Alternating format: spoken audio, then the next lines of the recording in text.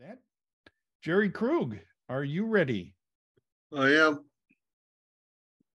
Okay, hold on, Mike. I gotta put myself on timer, you know, after what happened last time. Well, you Let's know see. what? You can go a little, little over. No, I don't want to. And, and if you could at uh eight oh five, at least send me a note or nudge me. I I'm should not be going done by to, I'm, I'm not going to nudge you because, uh, you know, we've got time, but do, do your best. And you're going to do a Okay, great, thanks. you're going to do a great thing here. So wonderful. All right. Are we ready? We're ready. All right. Um, I finished up tax season last October fifteenth and I had to wait a couple days, had some appointments and stuff to do. Decided I wanted to take a few days and do a little road trip down to Rich Mountain on the Kansas City Southern in uh, Oklahoma and Arkansas. So I headed out on October eighteenth, got as far as Springfield, Missouri, and then uh, finished the rest of the trip to Heavener after that. This is the Kansas City Southern logo I shot on a coal train at Pleasant Prairie, Wisconsin um, in 2003, but it's the only close-up I had of the logo. All right, so just, I know most of you know the territory, but you could just see Milwaukee's up right at the very top under top share. So I drove through Springfield and St. Louis to Springfield the first night, then uh, rail fan the area in the circle. We'll just you get a lay of the land. This is a map of the Kansas City Southern System. Here's a closer up of the area. The, the Kansas City Southern has a crew change at Heavener, Oklahoma. And the Rich Mountain Territory is south. You follow my pointer, uh, back into Arkansas to Acorn. Acorn is where the highway crosses the tracks. Uh, I consider the end of the territory to be Mena really, but who's counting? All right, so on the- first night out, there was some classic neon in, uh, in Springfield, Missouri, so I had to share this shot. This was, that sign was actually put up before Holiday Inn was founded, so it was always, uh, always a joy seeing that.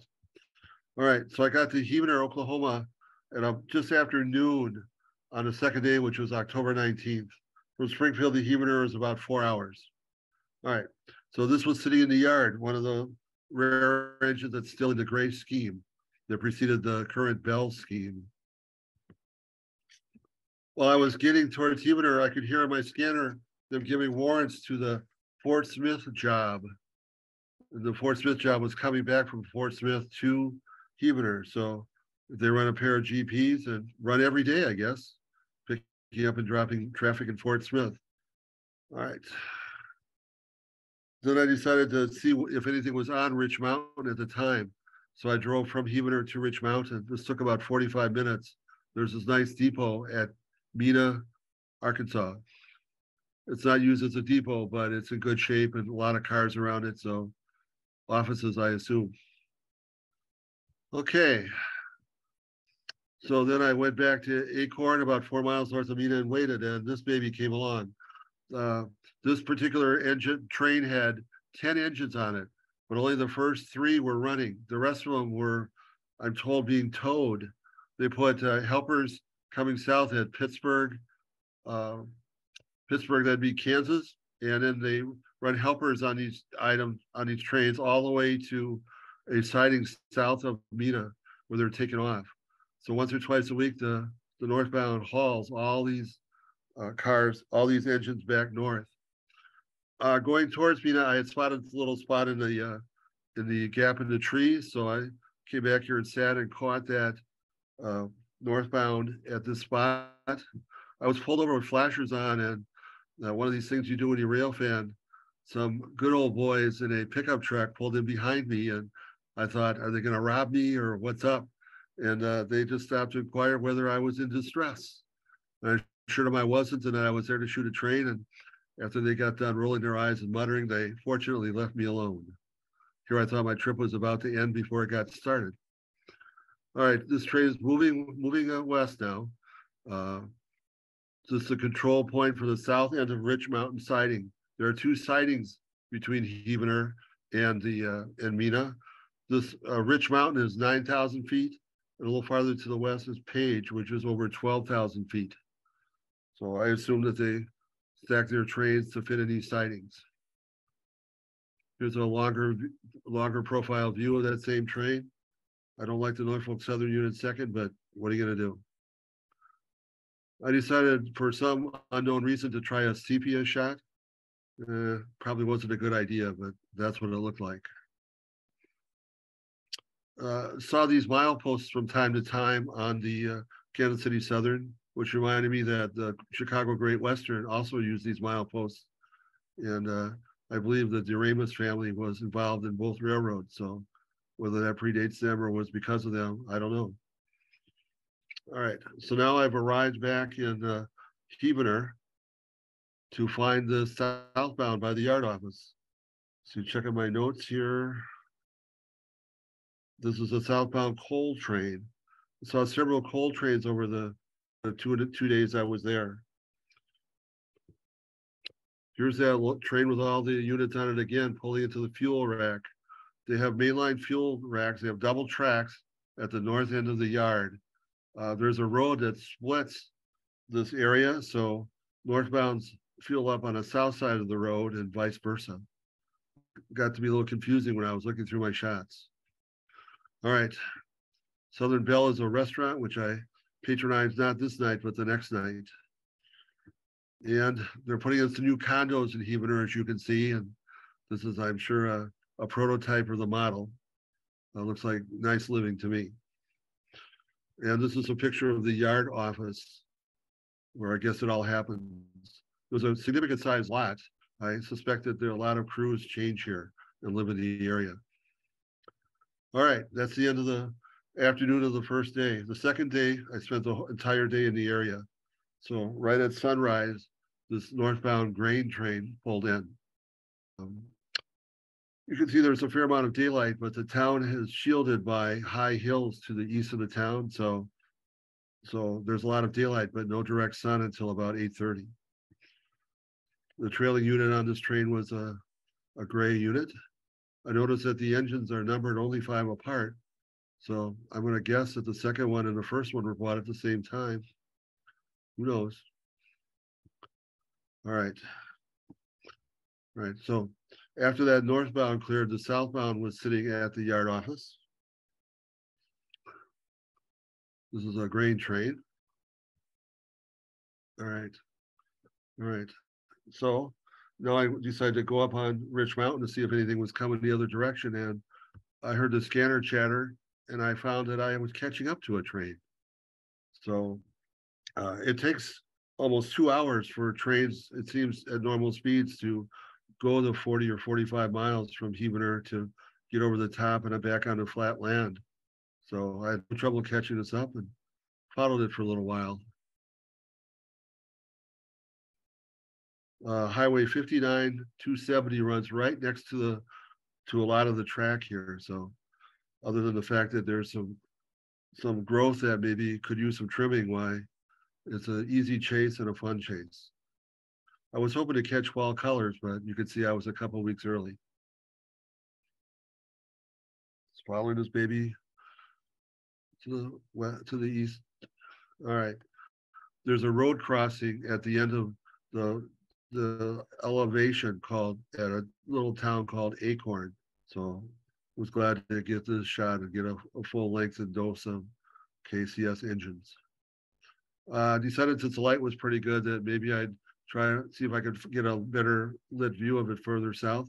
So I went south to a little town called Hatfield and waited about 15 minutes. And this is my last shot of this train, but I think the best shot of this train. Okay, so now it's time to head back towards Heavener and see what to catch. And as I, there was nothing on the mountain at that moment, but as I got to Heavener, I could hear the dispatchers talking to a, a northbound that had departed. So I, looking at the map, I thought maybe I could beat it to Spiro, although trains run 30 to 40 miles per hour here, so can't take it for granted. But I managed to get to the spot about two minutes before the train did. So just grabbed it. All right, I noticed going down to get that shot that I crossed over some tracks. So going back, I had a little time, so I stopped and looked and uh, saw that the tracks dead ended at the KCS uh, north-south line and obviously uh, abandoned beyond that. So I finally figured out that this was the old Rock Island Choctaw route. And uh, after the Rock Island went out of business, uh, the Choctaw route was purchased in a few pieces, but not as a through route. So this track got abandoned. So the KCS uh, interchanges was a short line here. You can see I have a, a Rock Island timetable and it mentions the KCS crossing, although it didn't put the uh, mile post in it. Howe, Oklahoma is uh, immediately in the area. And so on the other side of the bridge, looking the opposite direction, which would be west, you can see some tracks. When I got back, uh, another rail fan told me that the short line often stages an engine in this town, but I didn't know that and didn't take the time to go look. So a little bit of history there. All right, now I'm back in Heavener and here's a, a southbound loaded coal train. Saw several coal trains during this trip and apparently the KCS is happy to haul coal trains for uh, mostly the BNSF, but also the Union Pacific. So that train waited and here is a, a, a, a train of coal empties coming north. See the lights in the wrong spot, but at least it, taking the shot documents the, the train. All right. Okay, so we're farther on in the afternoon. So here's a new a new train, uh, Kansas City Southern 5018. So that is sitting at the yard office. So I I go farther north to the uh, north side of the of fuel racks and find this Kansas, I'm sorry, Canadian Pacific train with uh, tank cars uh, in the fuel rack. Uh, there's a road that runs right next to this out of town. So I went and looked and found these pushers at the end. And, you know, how's that for a fuel facility? If they pull the pushers ahead to to the fuel rack, it'll block this road. You think, well, close the road, but no, it's actually an important road. There's a lot of residents and a, a factory on the uh, on the road, and that's the only entrance. This was the Canadian Pacific unit of all things. Strathcona's unit, which I have caught in Milwaukee. Number 7030 was one of the pushers. All right. All right. So in a little while, another uh, southbound came into the fuel rack. So now I've got the classic merger shot here, the CP on the left and the KCS on the right. This train on the left stayed for quite a while. The train on the right ended up being the through track for several hours. And the timetable shows both of these tracks as main tracks, you know, in, in yard limits. Here's a shot of the, the engines used on the Fort Smith local today, same engines as the ones that were used the prior day. And here's a sunset shot. You can see the train on the right that I showed before is gone. A fresh one has taken its place, but the train on the left is still sitting. All right, so that takes care of the full day. Usually when I rail fan, I don't stay any place in particular for very long. And I thought this might be a chance where I could stay around the place all day and see what comes. Okay, so the next morning after I share breakfast with some locals doing some of the most positively inane conversation I've ever had to had to bear, went over and checked the fuel rack and found this unit, the Saluting Our Heroes unit on the KCS. So felt very lucky to stumble into uh, one of their uh, tribute units. Interesting about this unit is that it's painted in English on this side, but in Spanish on this side. I guess it makes sense given that they're an international railroad, but thought it was a nice touch. Okay, in the meantime, it's past the yard office, the southbound BNSF coal train is waiting for a crew. Okay, so now I go up on the mountain and the scanner, the scanner is quiet and it's just quiet. So there's a little place to park near the uh, town of Page. So I pull over and I uh, listen to music and fall asleep for a while. And finally I start to hear a, a, a, a, a chatter and the uh, Fred. So I go look for it. Here comes a uh, northbound. You can see there's a vet, the veterans unit is second. Here's a nice close-up view of the Kansas City Southern's Veterans Tribute, number 4006. This is taken from the elevation of the road right next to the tracks. Makes it very convenient. Okay, so that's, that, uh, uh, northbound and this southbound met at Page Siding. So I just waited and then waited for that train that was in the rack first thing in the morning to come along. And here it is heading to the, to the geographic east southbound. This was Concepts, the the Kansas City Southern's hazmat training tank car. And this picture just doesn't quite do justice as to how vivid and bright this car stood out in contrast with all the gray and brown around it. This is what uh, I'm told is the money shot, one of the few places you can get on this stretch of track where there's a little curve. You can get the S curve. I've seen this shot many times done by other people, so I had to get my own. All right, so you can see this train is continuing forward. Now here it is at Acorn at the end of the, uh, it's gone up the hill and down the hill, and here it's level territory. By here, they're pretty much hauling at about uh, maybe 40, 45 miles per hour. The timetable limits speed on the stretch of track from to 40 miles per hour. When you get a ways further south, the timetable speed goes up to 50. So this is at about 1.30 or 2 o'clock in the afternoon on the third day. In order to be home at the end of the fifth day or fourth day, I've got to head out. So I'll just show you a couple things I saw on the way way home. There's a branch line that runs to Waldron, which is the due north of where I, that last shot. Found this one sitting there. The Wamex division, Wamex line. So there's a couple of Wamex power. It's not a bad looking engine actually. I stopped at Fort Smith and found a steam engine at a museum there. I don't know if this ever ran on the, in recent times. I don't know if it's running. I don't know. There's a short line base in Fort Smith. This is one of their two engines. This is the other. Not a pretty shot, but looks like it's pretty much intact. Then I spent that night in Springfield, Missouri, going home. And I stopped in St. Louis, or I should East St. Louis, to take a quick look around, and found the Port Harbor Railroad. And they have a couple units that are painted. This one is for saluting the veterans. This one is for honoring first responders. Okay, that's thank you for your attention. That's my show.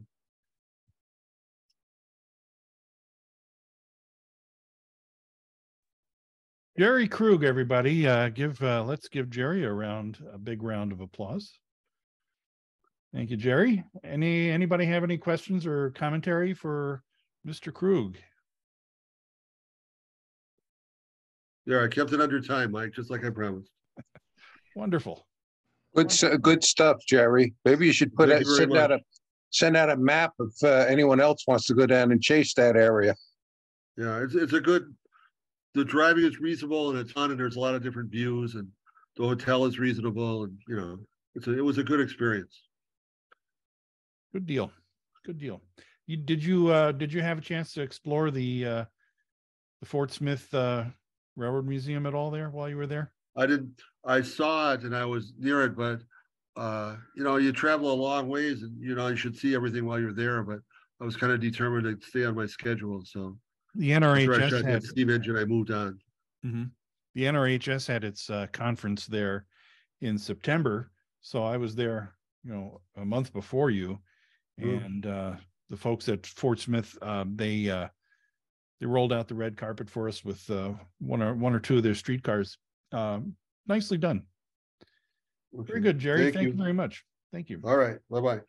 Thank you. Okay, everybody, just a reminder, if you're not a member of the Wisconsin chapter NRHS, um, it's twenty-one dollars online. Uh, Just uh, go to www.nrhswis.org and become a member instantly. Um, and we thank you for your support. Uh, if you haven't, uh, if you are a member and you haven't renewed, um, same thing applies. So thank you.